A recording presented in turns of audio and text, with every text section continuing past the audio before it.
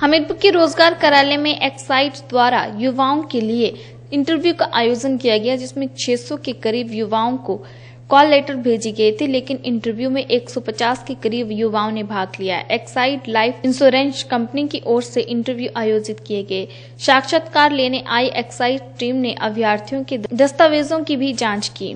वहीं life insurance company के सदस्य ने बताया कि हमीरपुर के युवाओं के लिए इंटरव्यू आयोजित किए गए हैं, जिसमें 600 के करीब अभ्यर्थियों को कॉल लेटर भेजे गए थे, जिनमें से 150 के करीब युवाओं ने इंटरव्यू में भाग लिया।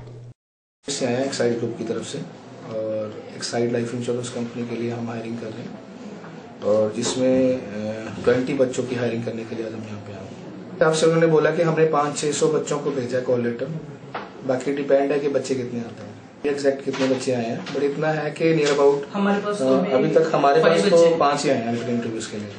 बाकी बच्चे आए हुए हैं काफ़ी इंटरव्यू देने के लिए।